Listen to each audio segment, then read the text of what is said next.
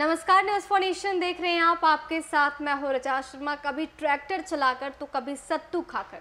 तेज प्रताप यादव लगातार हसनपुर की जनता को आकर्षित करने की कोशिश कर रहे हैं। तो अब एक नए अंदाज में उन्होंने मैथिली भाषा का प्रयोग करके हसनपुर की जनता को धन्यवाद दिया है। तेज प्रताप यादव ने ट्वीट करके ये कहा है कि हसनपुर की जनता ने उन पर भरोसा जताया है और काफ़ी प्यार भी मिल रहा है। सबसे पहले आपको वो ट्वीट दिखाते हैं जो तेज प्रताप यादव ने की है। तेज प्रताप यादव ने अपनी ट्वीट में लिखा है, खूब प्यार भेट रहल छई हसनपुर के जनता सभे से।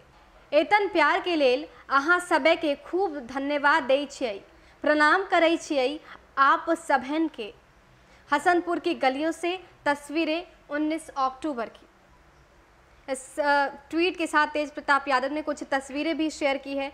एक तस्वीर में ऐसा नज़र आ रहा है कि तेज प्रताप यादव हसनपुर की जनता और जो इलाके के लोग हैं, उनके साथ घूम रहे हैं।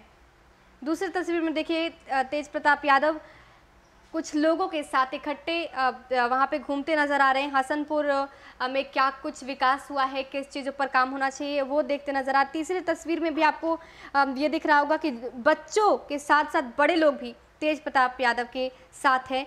और चौथी तस्वीर जो है, वो भी वहीं की है। तो तेज प्रताप यादव ने ये चार तस्वीरें डाली हैं और ये बताने की कोशिश की है कि हसनपुर की जनता उनके साथ है और लगातार उन्हें सपोर्ट भी कर रही है। तेज प्रताप यादव हसनपुर में शो भी कर चुके हैं। इससे पहले हमने आपको ट्रैक्टर वाली तस्वीर भी दिखाई थी। किस तरीके से तेज प्रताप यादव ट्रैक्टर चला रहे होते हैं और ये बताने की कोशिश करते हैं कि किसानों के हित में उनकी अगर सरकार बनती है तो वो काम करेगी। किसानों को लेकर वो तत्पर हैं, उनके हित में काम करना चाहते हैं।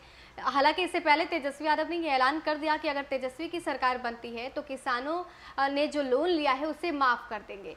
तो इस को लेकर भी तेज प्रताप यादव ने ट्रैक्टर चलाकर ये संदेश देने की कोशिश की थी कि अब हम किसानों के साथ हैं, किसानों की हक की लड़ाई आरजेडी करती आई है और करती रहेगी।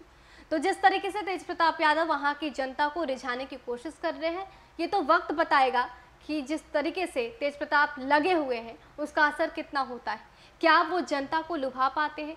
क्या हसनपुर में पूरी पैठ जमा पाते हैं? क्योंकि इससे पहले तेज प्रताप यादव महुआ से विधायक रहे। महुआ से उन्होंने जीत दर्ज की, लेकिन एकाएक चुनाव से पहले उन्होंने शिफ्ट कर लिया। अपने विधानसभा क्षेत्र को चेंज कर दिया और एक सेफ़ सीट तलाश ली। अब देखना दिलचस्प होगा कि हसनपुर में कभी ट्रैक्टर चलाकर, कभी मैथिली भाषा का प्रयोग कर कर कभी भोजपुरी का प्रयोग कर कर जिस तरीके से तेज प्रताप यादव जनता को आकर्षित करना चाहते हैं। ये बताने की कोशिश कर रहे हैं कि मैं ज़मीनी नेता हूँ, ज़मीन से जुड़ा हुआ नेता हूँ, जनता के साथ आगे बढ़ने वाला नेता हूँ। ऐसे में देखना दिलचस्प होगा कि क्या जनता तेज प्रताप यादव पर विश्वास करती है? क्या हसनपुर से तेज प्रताप यादव पूरे दमखम के साथ ताल ठोकते हैं और जीत दर्ज करा पाते हैं। फ़िलहाल के लिए इतना ही। बने रहे हमारे साथ और देखते रहे न्यूज़ फाउंडेशन नमस्कार।